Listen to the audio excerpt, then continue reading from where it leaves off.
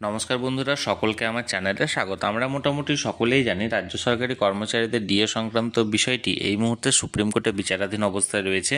কারণ রাজ্য সরকারের পক্ষ থেকে যে স্পেশাল লিভ পিটিশন বা এসএলপিটি দায়ের করা হয়েছিল সুপ্রিম কোর্টে, সেটি এখনও পর্যন্ত বিচারাধীন পর্যায়ে রয়েছে এবং এর পরবর্তী শুনানি আগামী আঠারোই মার্চ দু হাজার চব্বিশে হওয়ার একটি সম্ভাবনা রয়েছে। কিন্তু এরই মাঝে অন্যতম মামলাকারী সংগঠন কনফেডারেশন অফ স্টেট গভর্নমেন্ট এমপ্লয়িজের সাধারণ সম্পাদক মলয় মুখোপাধ্যায় মহাশয় একটি গুরুত্বপূর্ণ তথ্য শেয়ার করেছেন আমাদের সাথে। কি বলেছেন মলয়বাবু? সরাসরি আমরা জেনে নেব। তার আগে বলি ডিএ কেস নিয়ে এই ভিডিওটি অত্যন্ত গুরুত্বপূর্ণ, তাই প্রথম থেকে শেষ পর্যন্ত অবশ্যই ধৈর্য সহকারে দেখবেন এবং ভালো লেগে থাকলে অবশ্যই একটি লাইক করবেন এবং সকলের সঙ্গে শেয়ার করবেন। আর সেই সাথে এই চ্যানেলে যদি প্রথমবার হয়ে থাকেন এই রকমের ইনফরমেটিভ ভিডিও আরও দেখার জন্য, যারা এখনও পর্যন্ত এই চ্যানেলটিকে সাবস্ক্রাইব করেননি, তারা অবশ্যই চ্যানেলটিকে সাবস্ক্রাইব করে নিতে ভুলবেন না। তাহলে চলুন আমরা বিস্তারিত দেখে নিই।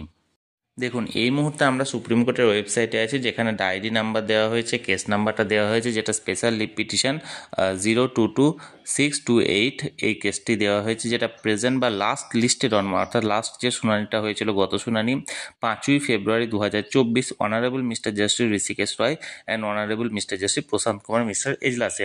কিন্তু এখনও পর্যন্ত বিচারপতিদ্বয় একই আছেন, কারণ বিচারপতিদ্বয় পরিবর্তন হয় না, যেগুলো হয়নি। আমরা যেগুলো আগের হিয়ারিংগুলোতে দেখেছি, প্রায় প্রত্যেকটা হিয়ারিংয়ে কোনো না কোনো বিচারপতি পরিবর্তন হয়েছিল। কিন্তু এখনও পর্যন্ত নেক্সট হিয়ারিংয়ের জন্য এই বিচারপতিদ্বয় একই আছে, যারা আগের হিয়ারিংয়ে ছিল। এবার স্ট্যাটাসটা দেখুন পেন্ডিং আছে মোশন হিয়ারিংয়ের জন্য দেওয়া হয়েছে এবং পরবর্তী শুনানি এখানে উল্লেখ করা হয়েছে আঠারো তিন দু এই ডেটে পরবর্তী শুনানির জন্য দিন ধার্য করা হয়েছে। এবার মলয়বাবু আমাদের সঙ্গে যেটা শেয়ার করেছেন বা যেটা জানিয়েছেন সেটা হয়েছে যে আঠারো তিন দু চব্বিশে এই মামলাটি তো মোটামুটি আমাদের উঠতে চলেছে। কিন্তু এখানে দেখুন, উনি বলেছেন যে অ্যাডভান্স লিস্টে একশো উননব্বই সিরিয়ালে ডিএ মামলাটি আছে। সামনের সপ্তাহে কজ লিস্টে ফাইনাল লিস্ট পাওয়া যাবে। অর্থাৎ আমরা বরাবরের মতো এবারও লক্ষ্য করলাম যে ডিএ কেসটির যে সিরিয়াল নাম্বারটি, সেটি অনেক পেছনের দিকে থাকে এবং যার ফলে শুনানির জন্য মামলার, এই মামলাটি শুনানির জন্য বিচারপতিদ্বয় টাইমের অভাব বা সময়ের অভাব, এই কথাটি জানান। এবারও মনে হচ্ছে সেই একই রকমেরই পর্যায়ে ঘটতে চলেছে, কারণ এই মুহূর্তে অ্যাডভান্স লিস্টে এটা একশো উননব্বই সিরিয়ালে আছে।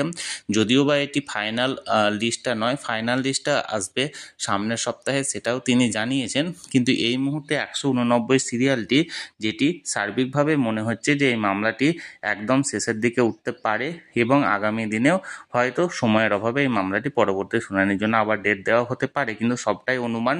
এখন দেখা যাক ফাইনাল যে লিস্টটা আসছে ফাইনাল লিস্টে কজ লিস্টটা এলেই আমি সরাসরি আপনাদের সঙ্গে সেটা শেয়ার করব। আপাতত যেটুকু খবর পাওয়া গেছিল, সেটি আমি সরাসরি আপনাদের সঙ্গে শেয়ার করলাম। এই নিয়ে যদি কোনো আপনাদের প্রশ্ন থাকে বা মতামত থাকে, অবশ্যই কমেন্ট করে জানাতে পারেন। আর এই ভিডিওটি ভালো লেগে থাকলে অবশ্যই একটি লাইক করুন এবং সকলের সঙ্গে শেয়ার করুন। আর সেই সাথে এই চ্যানেলে যদি প্রথমবার হয়ে থাকেন, এই রকমের আরও ভিডিও দেখার জন্য যারা এখনও পর্যন্ত এই চ্যানেলটিকে সাবস্ক্রাইব করেনি তারা অবশ্যই চ্যানেলটিকে সাবস্ক্রাইব করে রাখুন। ধন্যবাদ, দেখা হচ্ছে পরের ভিডিওতে